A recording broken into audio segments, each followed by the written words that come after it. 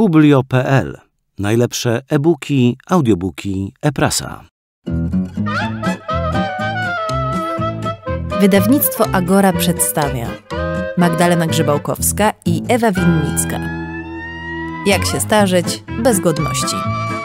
Czytają autorki. Wszystkim ludziom w wieku przedstarczym. Wstęp. Szkoła starzenia. Po czym poznać, że to już. Same byśmy chciały wiedzieć, żyłyśmy przez tyle lat spokojnie, popijałyśmy wino, machałyśmy nóżką, rodziłyśmy dzieci, pisałyśmy książki i nagle, bez ostrzeżenia, stanęłyśmy u progu starości. A przecież wciąż byłyśmy w trybie młodość, halo. Najgorzej, że zostałyśmy z tym same. Całe dzieciństwo kazano nam uczyć się liczenia, pisania, czytania, przewrotów bokiem i dat wielkich bitew. Potem nie było lepiej. Studia, podyplomówki, kursy językowe, warsztaty makramy, ikebany, oddechu i budowania stołków. Istnieją szkoły jogi, szkoły jazdy na nartach, szkoły patrzenia w siebie i wokół siebie. Kobiety ciężarne chodzą do szkół rodzenia. Potem mają do dyspozycji kursy karmienia piersią, zmieniania pieluch i niespania przez trzy lata bez uszczerbku na zdrowiu psychicznym. A co z nami? Gdzie są do diabła szkoły starzenia się? Gdzie broszury oswajające z siwieniem, marszczeniem i plamkami wątrobowymi na dłoniach? Gdzie poradniki, jak wyglądać seksy w berecie? Gdzie ostrzeżenia przed postarzającym beżem? Radzimy nas nie lekceważyć kilku milionów Polaków pochodzących z przełomu lat 60. i 70. XX wieku.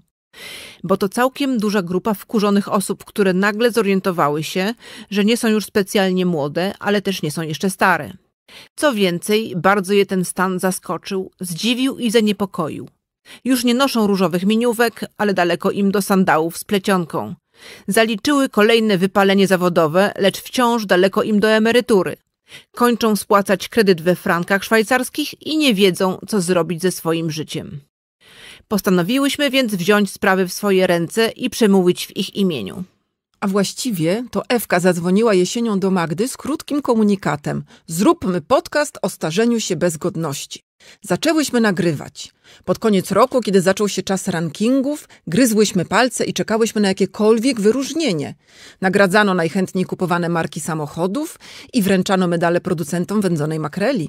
Krytycy literaccy i redakcje wybierały wśród swoich piszących znajomych książki życia ostatnich dwunastu miesięcy, a koła gospodyń wiejskich przekazywały uroczyście dyplomy za pierogi roku.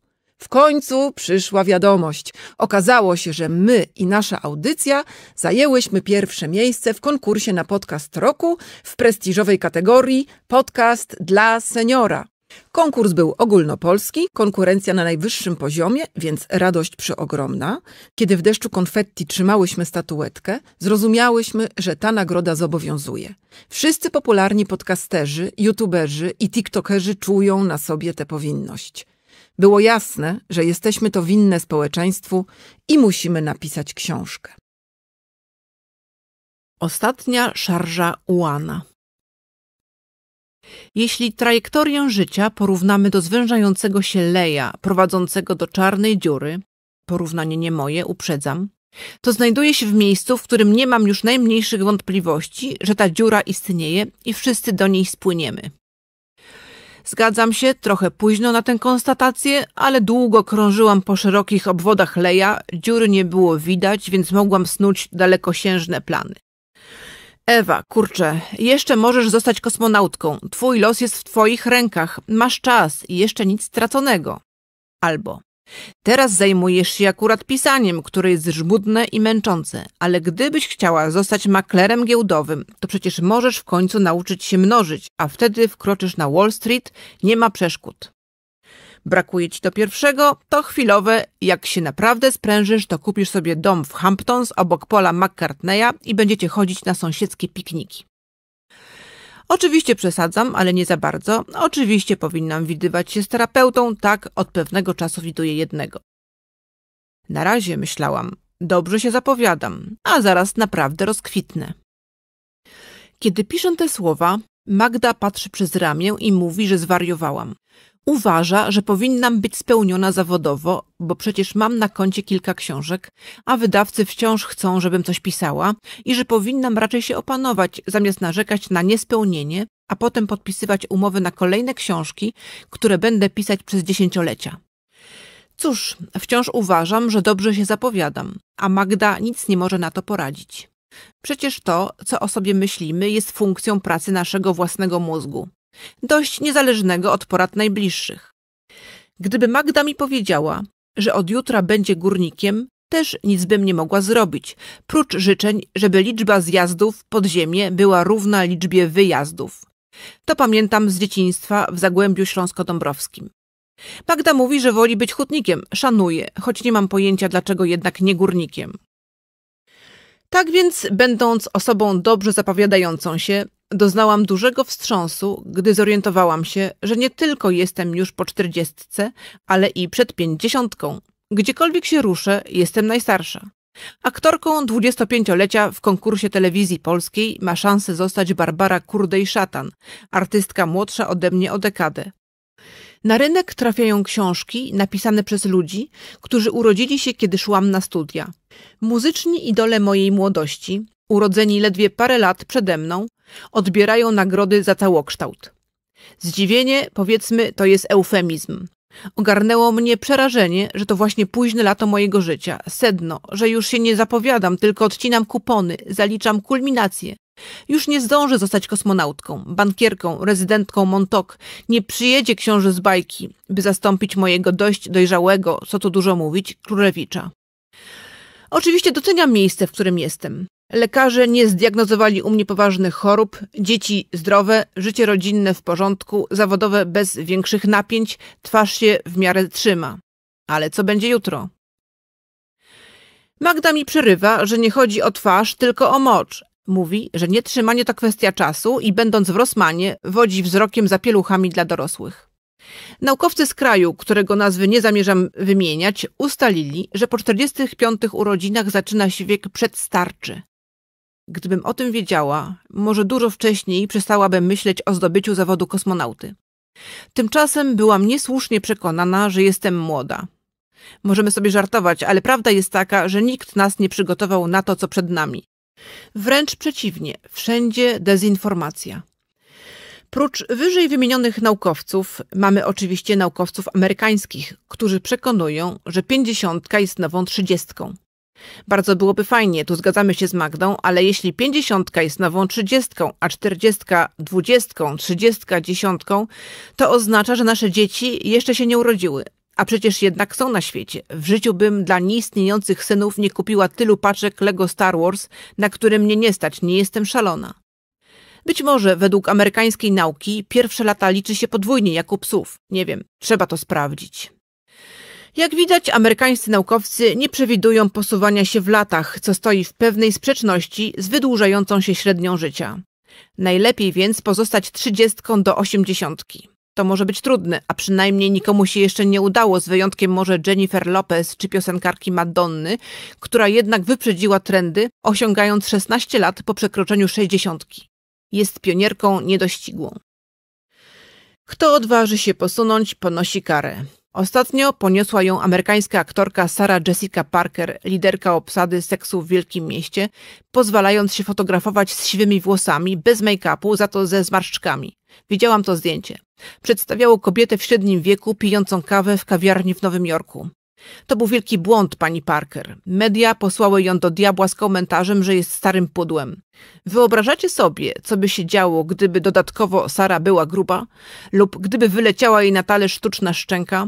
Czy teraz powinna posypać głowę popiołem, zmienić imię na stara Jessica Parker lub natychmiast udać się na operacje plastyczne?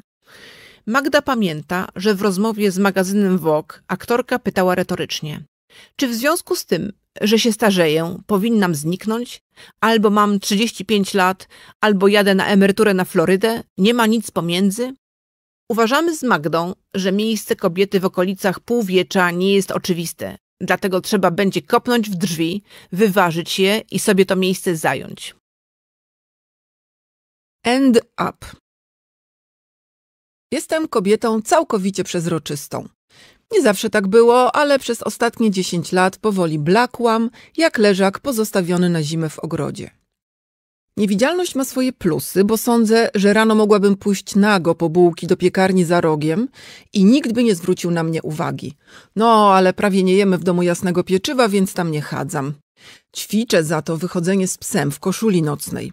To znaczy, ja w koszuli pies na smyczy. Y, zimą narzucam na wierzch puchowy płaszcz i wsuwam gołe, nie zawsze ogolone nogi w botki. Mogę więc wydawać się ekscentryczną artystką, która wyprzedza trendy. Trudniej jest latem, bo wtedy do koszuli nocnej wkładam jedynie klapki. Tuż po czterdziestce, kiedy było widać jeszcze moje kontury, w życiu bym tak nie wyszła na dwór. Nie jestem kobietą przesadną, jaką była moja mama. Ona nawet śmieci szła wyrzucić w pełnym makijażu, a gdy zdarzało się, że nie była pomalowana i musiała natychmiast gdzieś wyjść, nawet nocą wkładała okulary przeciwsłoneczne. Ja takich cyrków nie robię, maluję się bardzo rzadko, jednak jeszcze 10 lat temu obawiałam się śmieszności spowodowanej nieodpowiednim strojem na ulicy. Wtedy jednak mój proces znikania dopiero się zaczynał. Dziś moja koszula z kaczuszkami i ziewającym pieskiem nie robi na żadnym z przechodniów wrażenia. Po prostu nikt mnie nie zauważa. Pochodzę z roku 1972, więc jestem osobą w wieku przedstarczym, Zgodnie z teorią naukowców z kraju, którego podobnie jak Ewa nie zamierzam wymieniać, bo nie ma u mnie żadnego autorytetu.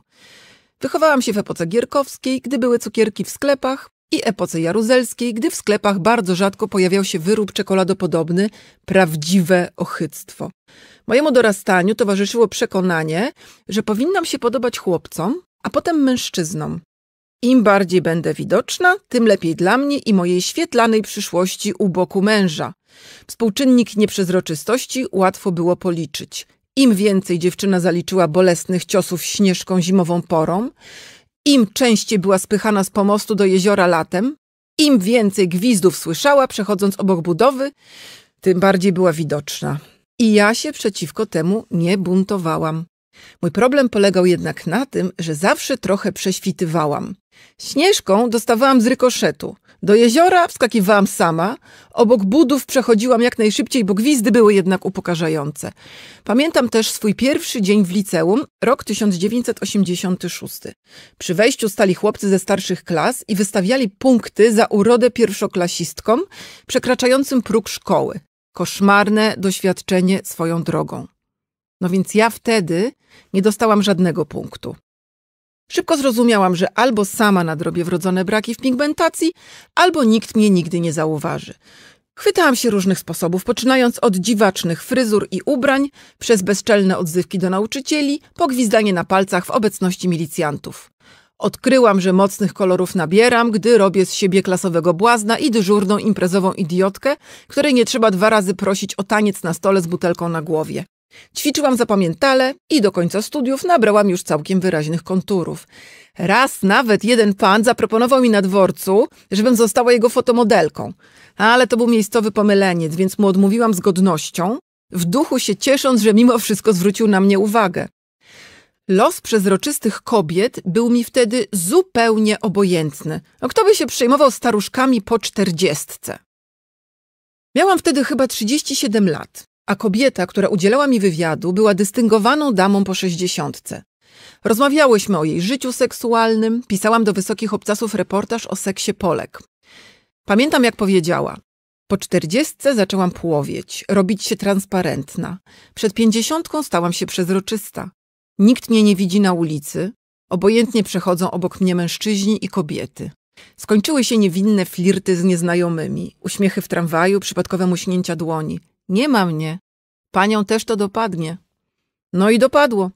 Okres adaptacji, który przypadł między 40 a 50 rokiem życia, przeszedł u mnie prawie bezboleśnie.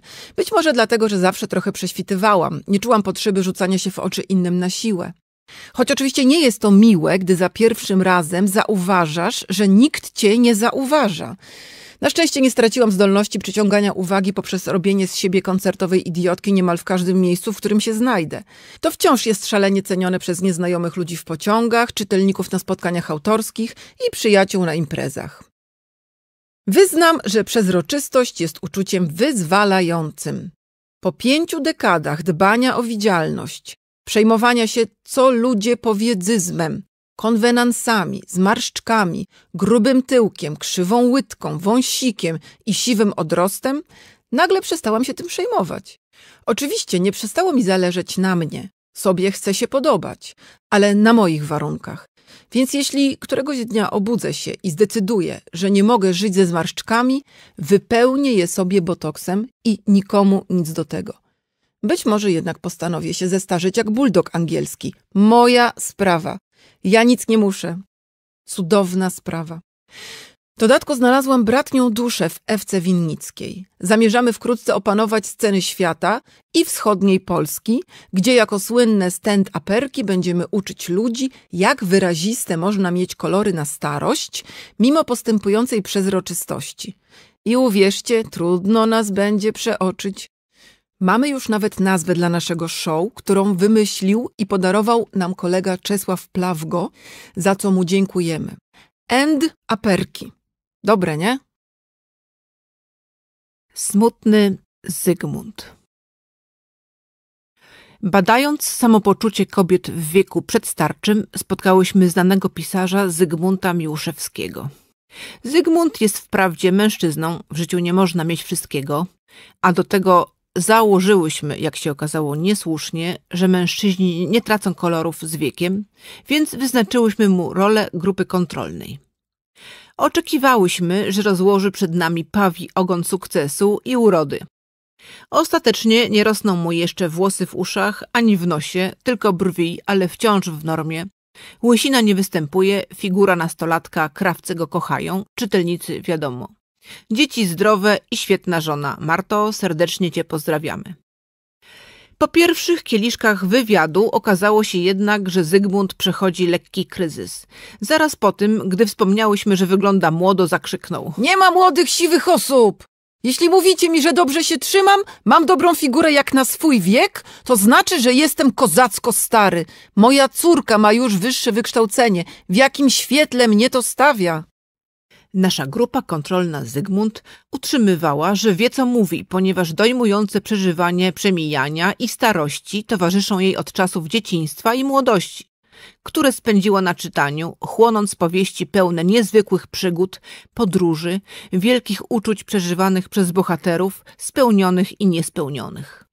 Nie wiemy, dlaczego dzieciństwo spędzała na czytaniu, zamiast na zabawie pod trzepakiem czy na boisku. Podejrzewamy, że była smutnym i wyobcowanym dzieckiem, ale na razie nie chciałyśmy drążyć. W każdym razie mały Zygmunt szybko się zorientował, że sam tego wszystkiego nie przeżyje, bo nie zdąży i zrobiło mu się przykro. Smutek dużego Zygmunta podbija zupełny brak wiary w życie pozagrobowe. Nie wierzy w nie, podobnie jak w różowe jednorożce. Osobiście uważamy, że nie ma dowodów na nieistnienie różowych jednorożców. Miłoszewski zamyślił się nad ramenem, który zamówił na azjatyckim stoisku w jednym z centrów handlowych, które wybrałyśmy na bazę badawczą i powiedział. Codziennie patrzę w lustro i widzę jogurt z wydrukowanym na wieczku terminem do spożycia. Nie widzę tej daty, ale ona się zbliża, a ja kisnę. Z roli badaczek, które spoglądają na obiekt z surową obojętnością, przeszłyśmy natychmiast do roli pocieszycielek. Zygmunt, może skupiłbyś się na tym, żeby przeżyć jak najfajniej swoje życie.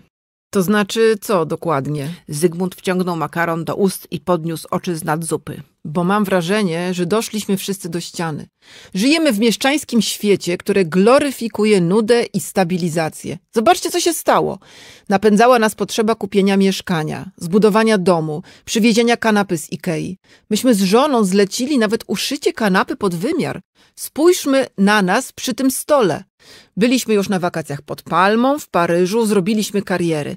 Potem wzięliśmy sobie do naszych domów i mieszkań psy.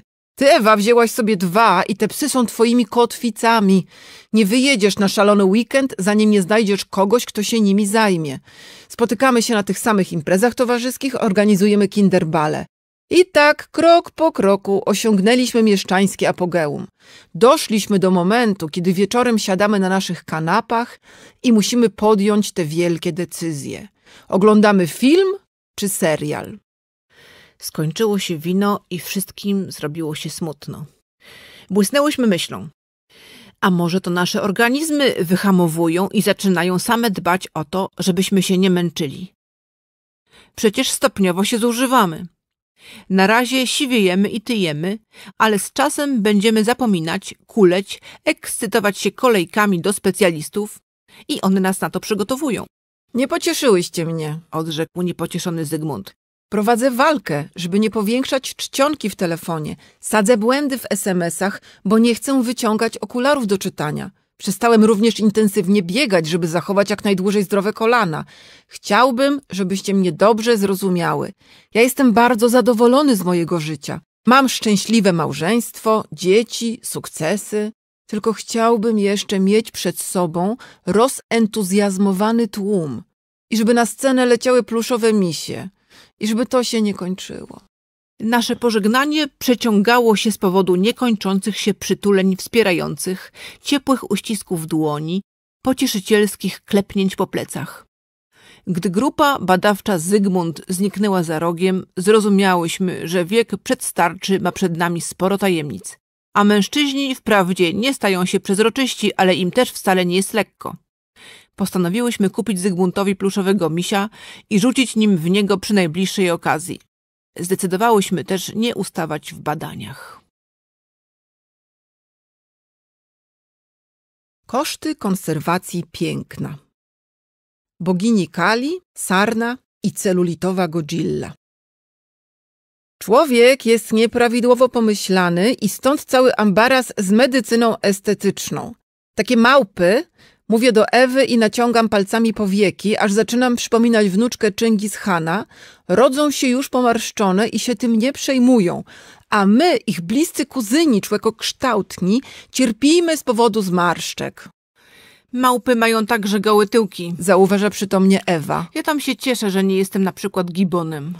Stoimy sobie z Ewą przed lustrem w toalecie pewnej kawiarni i nachodzą nas głębokie myśli o przemijaniu gatunku ludzkiego. Z ukrytych głośników płynie muzyka toaletowa bardzo podobna do muzyki windowej.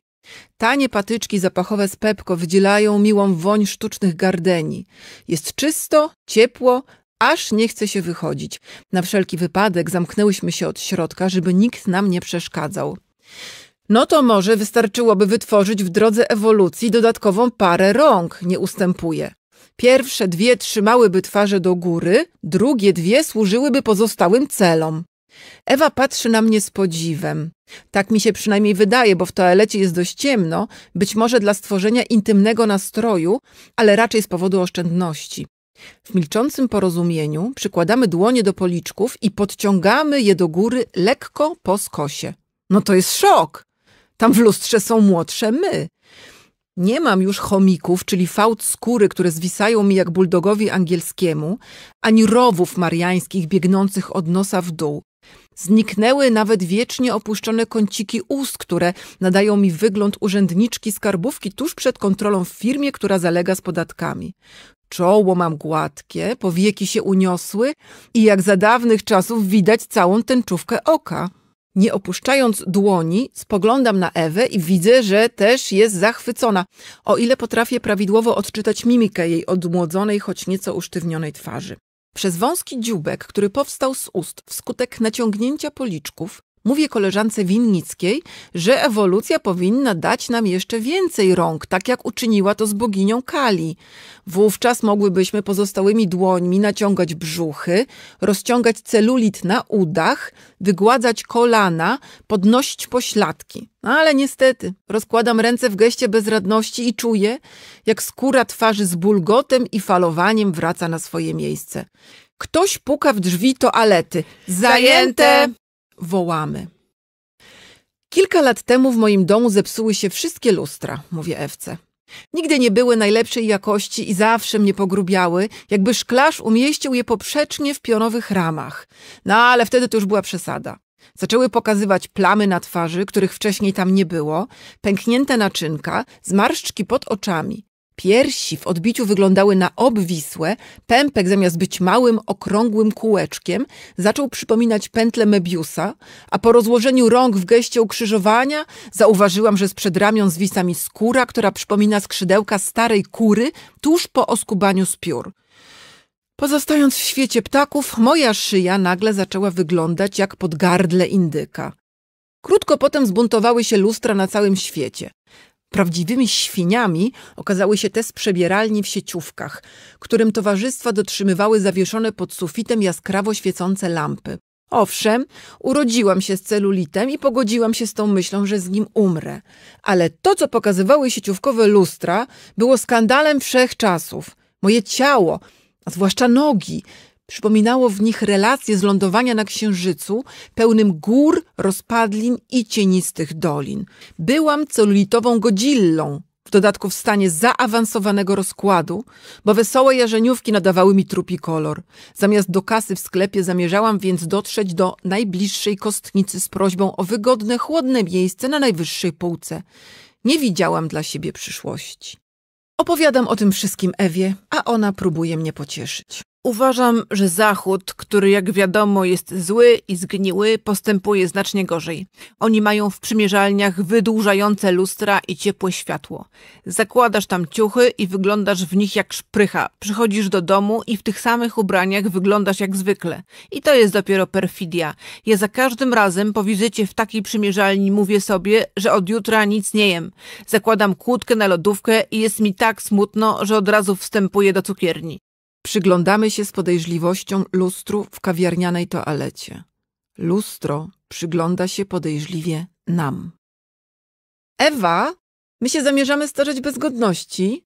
Wyciskam na dłoń mydło z dozownika. Ta. A co to właściwie dla nas znaczy? Podkładam na mydlone ręce pod bezdotykowy kran. Fotokomórka, która powinna uruchomić strumień wody, ignoruje mnie. Oto rzeczywistość kobiety w wieku przedstarczym. Jestem nie tylko przezroczysta dla mężczyzn i kobiet na ulicy. Teraz stałam się też niewidzialna dla kranów. Podsuwam dłonie pod drugi kran, woda łaskawie spłukuje mydliny. Bo ja widzę dwie możliwości. Albo ignorujemy wszelkie oznaki starzenia, wokół plam wątrobowych rysujemy kwiatki, rozpuszczamy długie siwe włosy, dziaramy tatuaże, przekuwamy nosy i tańczymy na plaży, powiewając fałdami skóry. Albo natychmiast po wyjściu z tej łazienki idziemy do lekarzy medycyny estetycznej i prosimy o przeszczep tłuszczu z pośladków w podbródki, a z podbródków w policzki. Dziękujemy za wysłuchanie fragmentu audiobooka. Cała książka do nabycia w publio.pl.